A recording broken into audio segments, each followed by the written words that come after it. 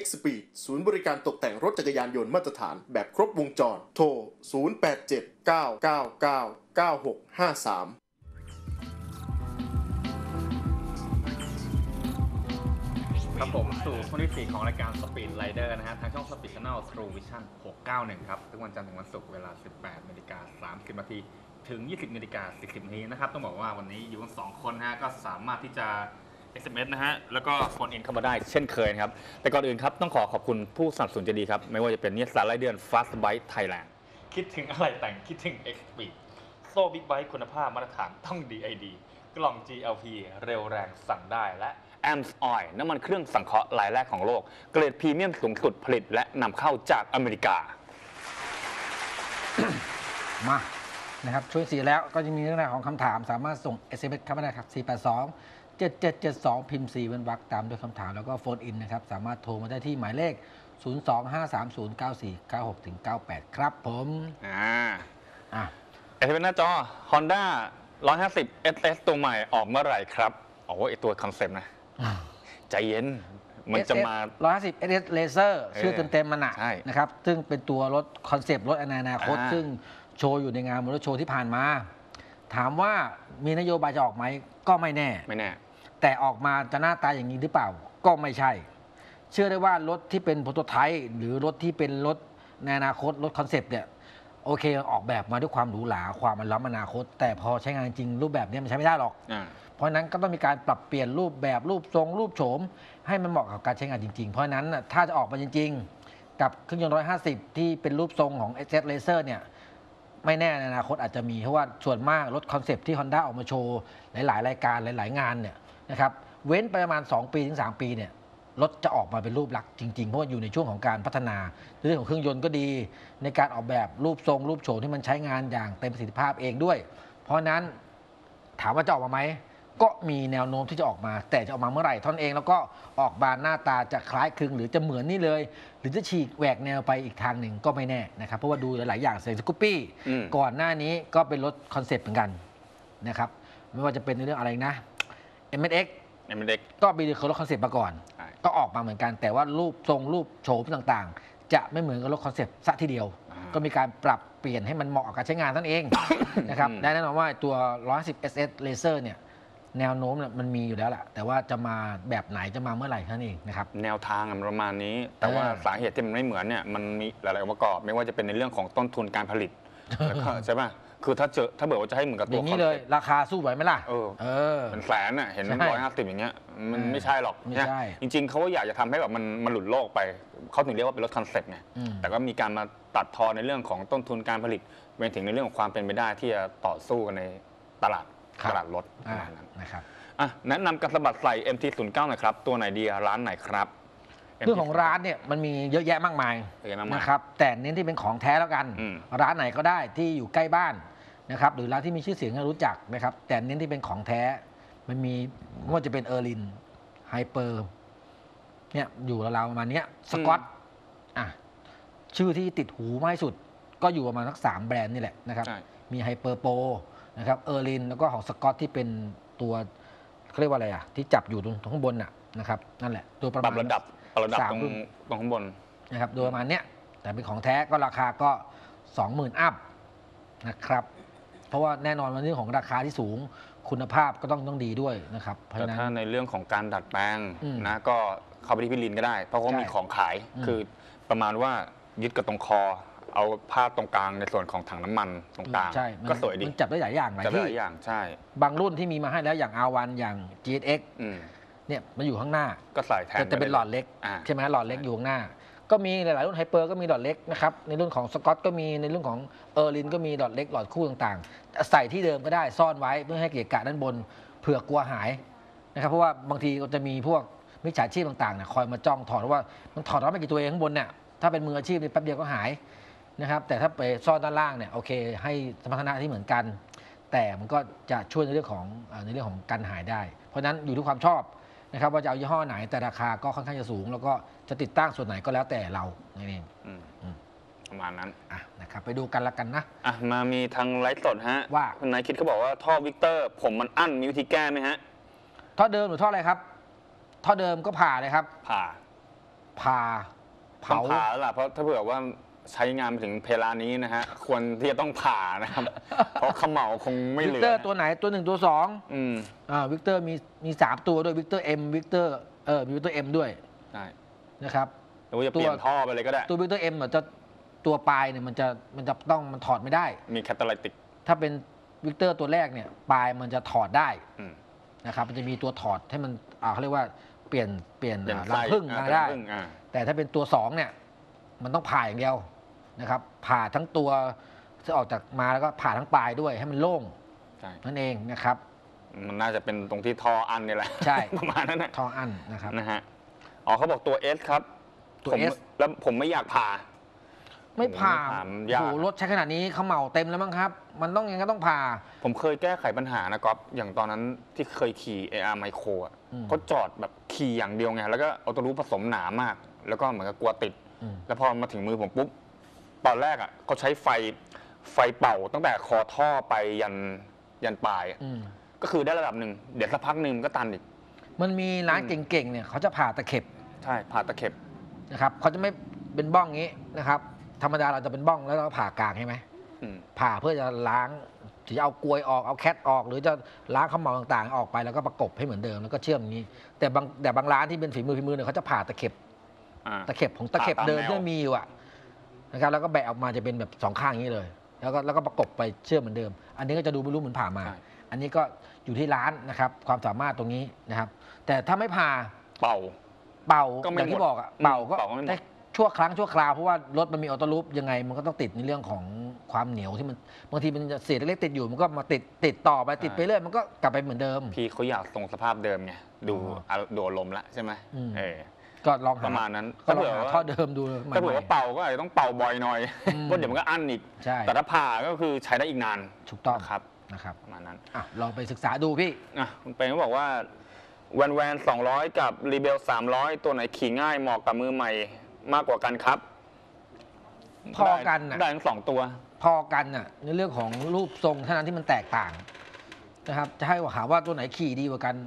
มันก็ไม่ดีกว่าเท่าไหร่หรอกครับด้วยด้วยด้วยขนาดของซีซีที่ไม่ต่างกันเท่าไหร่ 200 กับ 300 รูปทรงรถอ่าตัว Rebel เป็น cruiser แต่ตัวของแวนแวนนี่สไตล์เป็นอ่ารถ flat track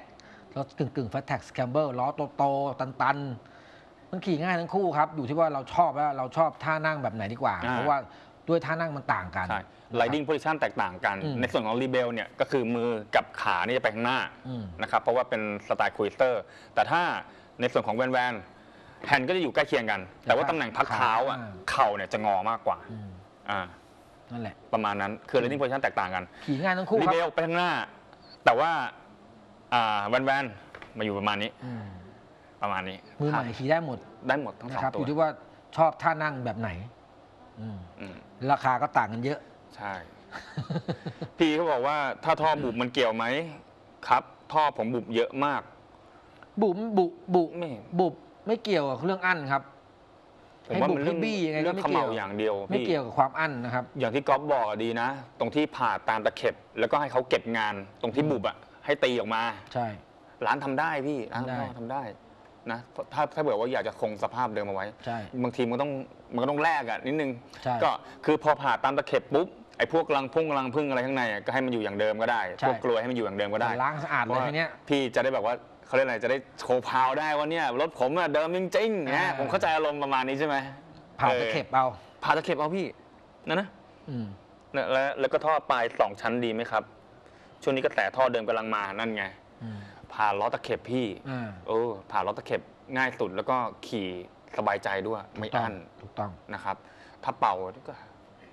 ดีสินะ พอผ่าล้อตะเข็บปุ๊บเก็บงาน ใช่อ่ากลมเหมือนเดิมก็เหมือนเดิมเนี่ยนะครับ ประมาณเพราะนั้ว่านท่อ Victor ท่อ KR เนี่ยส่วนมาก ท้องจะแบนเพราะว่ามันอยู่ต่ำ ใช่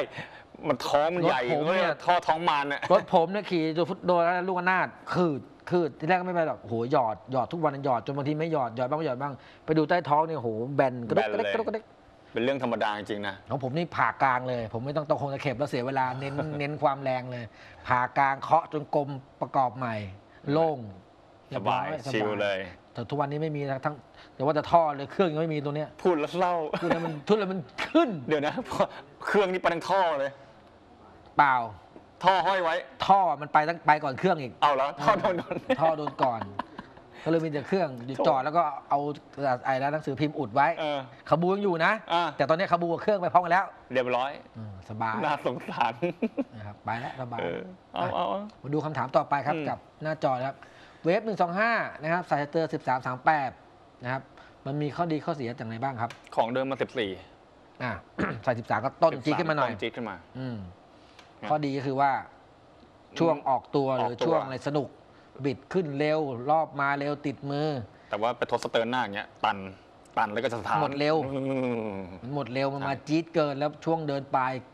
ปลายเกียร์สามถึงเกียร์สี่เนี่ขยองเดิมไม่แน่ใจว่า 15 หรือ 14 นะ ปลายเกียร์แต่สามเกีแต่ยร์มันสี่ไม่เล็กขนาดเนี้ยไม่ใช่13เล็กไปตามเล็กไป13เล็กไป ไปเล่นเล่นสเตอร์หลังดีกว่า และอีกอย่างหนึ่งเว็บ 125 นะ ไมค์ก็เป็นแบบไมค์ไฟฟ้า เวลาที่แบบไปไล่สเตอร์ ไมค์เพี้ยนเลยนะ ถูกต้อง ลองมาแล้ว ความเร็วอะไรพวกนี้มันจะเพี้ยนหมด อืม เพราะจริงๆ แล้วถ้าเล่นสเตอร์เนี่ยผมแนะนำว่าให้หน้าเดิมไว้ใช่ หน้ามา 14 15 แล้วแต่ แล้วไปทดที่หลังเอาจะง่ายกว่า จะเอาลงหรือจะเอาขึ้นเนี่ยมันจะง่ายกว่า แต่ถ้าลงหน้าเนี่ยทีเนี้ยทุกอย่างมันจะเพี้ยนในเรื่องของการระบบขับเคลื่อน มันจะเพี้ยนเยอะกว่านะครับเน้นที่หลังสมมติหน้า 14 หลัง 40 หลัง 38อะไรต่างๆ อยากให้ปลายเดินลงมาสักฟัน ครึ่งฟัน มันมีวิธีครึ่งฟันก็มีนะอ่าแต่เขามีวิธีการคำนวณคิดระหว่างสเตอร์หน้าสเตอร์หลังคิด แล้วจะหาจุดกันว่าค รึ่งฟันมันก็มีเหมือนกันนะเวลาทดสเตอร์หลายคนบอกไม่มีอัตรา ครึ่งฟันไม่ไม่ใช่ครับว่าฟันหักไปครึ่งหนึไม่งใช่นะ ไม่ใช่ อัตราทดนะฮะ ไม่ว่าจะเป็นในเรื่องของระบบเกียร์ ระบบส่งกำลังตั้งแต่อัตราอะไรนะอัตราทดขั้นต้นอ่าตั้งแต่ขั้นต้ไพน primary คัตอ่ายันอัตราทดขั้นสุดท้ายสุดท้ายที่สเตอร์เนี่ยเออวิธีคำนวณก็คือเอาสเตอร์หน้ากับสเตอร์หลังมาหาร อืมแล้วมันมีเท่านั้นตัวเลข แล้วจะเป็นตัวเลข เสร็จแล้วปุ๊บก็เราจะใส่เบอร์นี้ กับตัวนี้อืมก็มาหารกันได้ตัวเลขมันจะห่างกัน 0.5ไหมอะครึ่งฟันห่างกันหนึ่งไหมหนึ่งฟันอะอะไรอย่างเงี้ยมันอะจะมีสูตรในการคำนวณยกตัวอย่างเช่น อย่างนี่เขาบอกอะไรนะเมื่อกี้สิบสามสามแปดสิบสามสามแปดอืมสิบสามหารสามแปดเอาสามแปดหารอ่าก็นะอัตราทดก็จะไม่ไม่ถึงหนึ่งจะอยู่ที่ศูนย์จุดสามสี่ครับศูนย์จุดสามสี่เนี่ยก็ต้องดูอัตราทดของเกียร์สุดท้ายด้วยอืมว่าเกียว่าร์มันสี่มันเท่าไหร่ เกียร์สี่เท่าไหร่อืมนะฮะพอเกียร์พอรู้เกียร์สี่เท่าไหร่เนี่ยอัตราทดเนี่ยไม่ควรจะตัวเลขตัวหน้า ไม่ควรจะมีเลขหนึ่งอืมระยะห่างกันศูนย์เท่าไหร่ก็ว่าศูนไปย์เท่าไหร่ก็ว่าไปเออนี่คือการทดเกียร์ที่อ่การคำนวณทดทดเฟืองที่ที่เขาเรียกอะไรที่เหมาะกับที่เหมาะที่สุดเอเอออเหมาะกับการขับขี่เพราะถ้าเผื่อว่ามันเกินมากไปอย่างเงี้ยมันก็จะเพี้ยนอ่ารถใช่ถ้ารถไม่มีแรงก็ไม่ไม่สนุกละการแต่ขับขี่13ถามแปดถือว่ารถต้นจัดใช่ ปลายจะไม่มีปลายจะตัน เกียร์สามจะสถานแล้ว อืม ยิงสี่ดื้อๆแต่รถมันไม่ไปไงไม่มันหรอกเออนะครับ เอาหน้าเดิมแล้วเล่นทดหลังดีกว่าสนุกกว่า อะง่ายกว่าด้วย แต่ข้อดีของการทดสเตอร์หน้าก็ดีอย่างตรงที่โซ่ไงอ๋อมันคือโหลดขับเคลื่อนโซ่อะเออโซ่มันไม่เขาเรียกอะไร มันก็ไม่ต้องแบบไปไปต่อ ใช่อ่ารถรถหน้ามันจะมีช่วงเหลืออีก ใช่ก็ไปตั้งชัตเตอร์อะตั้งที่ swing arm เอา อ่าแต่ถ้าไป หลังทำสเตอร์หลังให้ใหญ่ปุ๊บอ้าวคราวเนี้ยไม่โซ่พอไม่พอ ซื้อโซ่อีก ต้องรอให้ขี่ให้ยานก่อนจะบ้าเหรอไม่ใช่ไม่ใช่ สมัยก่อนใครเป็น กระชากเลยตึ้งตึ้งโอ้โหออกกระชากกระชากไม่ไม่ไม่ให้โซ่มันยืด เอ้ยมันยื่นก่อนจะได้ใส่ได้ มันจะพังซะก่อนเออเออนะครับ เอามาไอ้เจอต่อไปบูเอลเหรอราคาเท่าไหร่ครับ เครื่องกี่ซีซี Buell บูเอลตอนนี้ต้องบอกว่าไม่มีแล้ว ปิดปิดโรงงานไปแล้ว พื้นฐานของ Buell เนี่ยก็คือเป็นพื้นฐานของเครื่องยนต์ Harley-Davidson นี่แหละ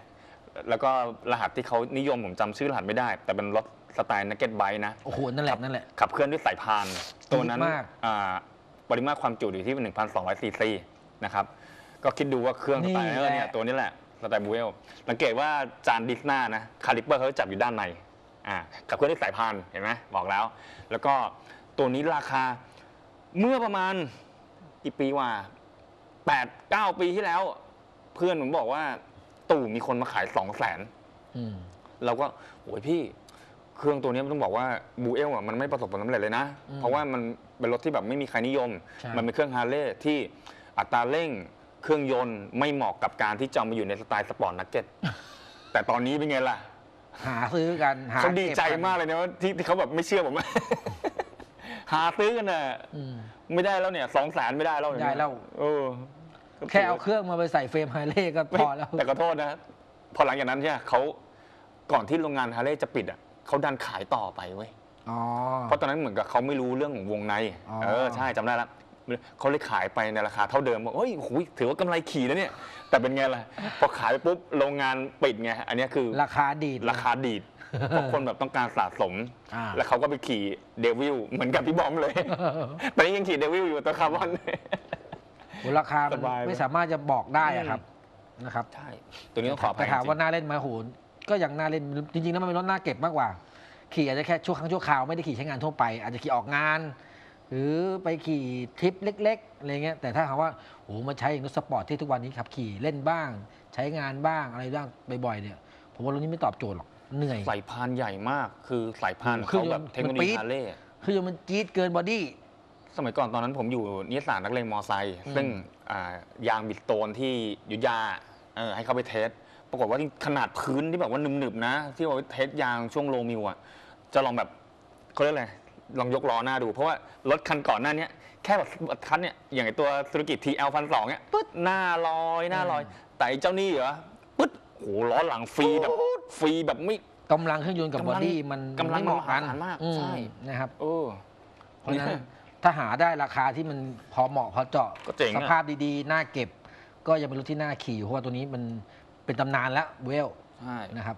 อะภาวนาเอาใจช่วย ขอให้สมหวังขอให้เจอขอให้หาถ้าเจอเจอถ้าเจอแล้วบอกแล้วด้วย ขอเชิญเข้ารายการ เป็นเนื้อคู่เลยเป็นเนื้อเออคู่จะหายากมากเวล หายากมาก